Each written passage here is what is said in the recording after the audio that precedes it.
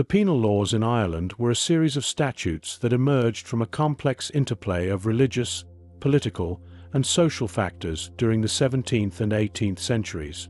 To grasp the full scope of their impact, it is necessary to understand the historical context in which these laws were enacted. The 16th century marked the beginning of profound religious conflict in Europe, a period often referred to as the Reformation. This movement led to the splintering of the Christian Church into Protestant and Catholic factions.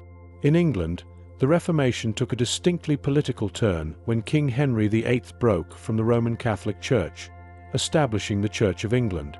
This schism set the stage for centuries of religious tension, which would have significant implications for Ireland, where the majority of the population remained staunchly Catholic.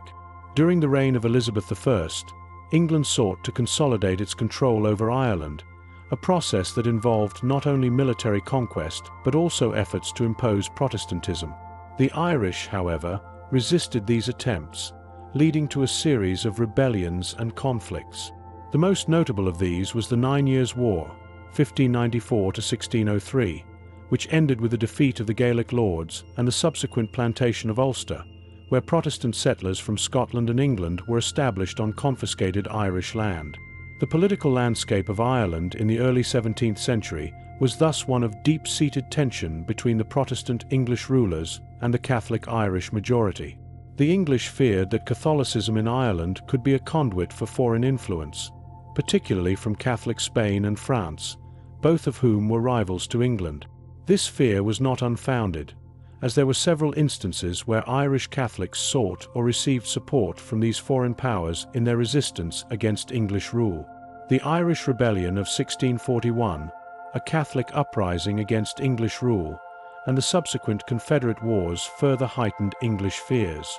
The rebellion was brutally suppressed by Oliver Cromwell's forces, leading to widespread devastation and the further dispossession of Catholic landowners. In the wake of these conflicts, the English government became increasingly determined to solidify Protestant dominance in Ireland.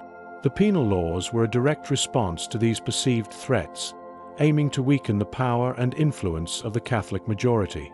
The penal laws were introduced gradually, beginning in the late 17th century and continuing into the 18th century. They were designed to systematically disenfranchise Catholics and ensure Protestant supremacy in all aspects of Irish life.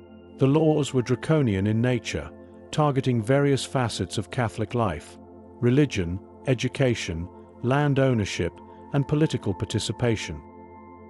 One of the earliest and most significant of these laws was the Act of Uniformity, 1666, which required all public officials to take an oath of allegiance to the English crown and to abjure the Pope's authority. This effectively barred Catholics from holding any public office. Another critical law was the Popery Act, 1703, which forbade Catholics from purchasing land or leasing it for more than 31 years. The Act also introduced the concept of gavelkind, wherein a Catholic landowner's estate would be divided among all his sons upon his death, unless the eldest son converted to Protestantism, in which case he would inherit the entire estate. This law was intended to break up large Catholic landholdings and to encourage conversions to Protestantism.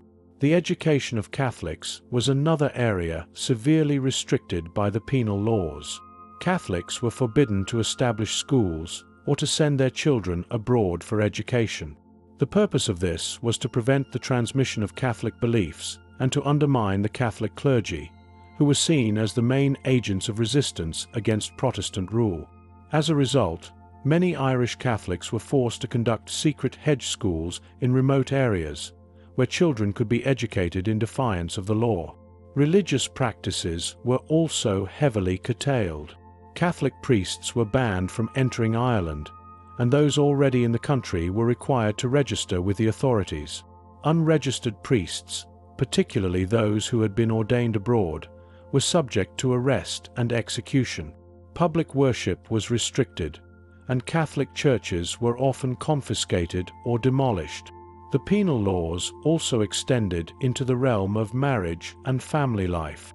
Mixed marriages between Catholics and Protestants were discouraged, and if a Protestant spouse converted to Catholicism, they could lose their property rights.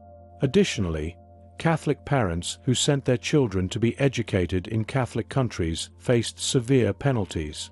The impact of the penal laws on Irish society was profound and far-reaching.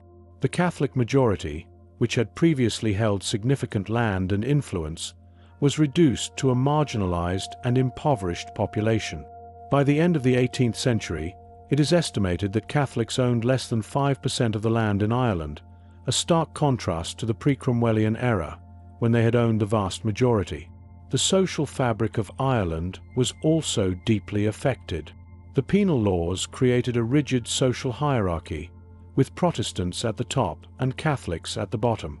This division exacerbated existing tensions and fostered a deep sense of injustice and resentment among the Catholic population the laws effectively excluded Catholics from participating in the political and economic life of the country, relegating them to the status of second-class citizens. The restrictions on education and religious practice had long-lasting effects on Irish culture and identity. The Catholic Church, which had been a central part of Irish life for centuries, was forced to operate underground. This suppression of religious and cultural expression contributed to a sense of cultural alienation among the Irish people. However, it also fostered a strong sense of resistance and solidarity within the Catholic community, which would later become a driving force in the struggle for Irish independence. The economic consequences of the penal laws were equally severe. The prohibition on land ownership and the division of estates under the Gavelkind system led to widespread poverty among Catholics. Many were reduced to tenant farming, working on land that had once belonged to their ancestors. This economic disenfranchisement had a ripple effect, leading to increased emigration and a deepening of the rural-urban divide in Irish society. The penal laws remained in force, in varying degrees, throughout the 18th century. However, by the late 18th and early 19th centuries, the tide began to turn.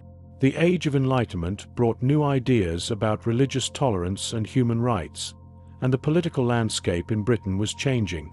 The American and French revolutions also had a significant impact, as they challenged the traditional power structures and promoted the idea of equality and liberty. In Ireland, the rise of the United Irishmen a revolutionary group that sought to unite Catholics and Protestants in the fight for Irish independence, put pressure on the British government to reform. The first significant breakthrough came with the Catholic Relief Act of 1778, which allowed Catholics to own land and to pass it on to their heirs. This was followed by further concessions in 1793, which granted Catholics the right to vote and to enter the legal profession. The final and most significant repeal of the penal laws came with the Catholic Emancipation Act of 1829. Championed by Irish leader Daniel O'Connell, the act allowed Catholics to sit in Parliament and to hold public office. While the act marked the end of the penal laws, the legacy of discrimination and division they had created would continue to shape Irish society for generations to come. The penal laws were a dark chapter in Irish history, reflecting a period of intense religious and political conflict. Their legacy is one of deep-seated division and injustice, but also of resilience and resistance. The Catholic population, despite being systematically oppressed, maintained their faith and culture, ultimately playing a central role in the eventual struggle for Irish independence. The story of the penal laws is a testament to the enduring spirit of the Irish people, and a reminder of the destructive power of discrimination and intolerance. Thank you for watching. If you enjoyed this video and want to dive deeper into the rich tapestry of Irish history, myths, legends, and folklore, be sure to subscribe to Emerald Chronicle. Stay tuned for more captivating short documentaries that bring the stories of Ireland to life. Don't forget to like, comment, and share with others who share a passion for Ireland's fascinating past.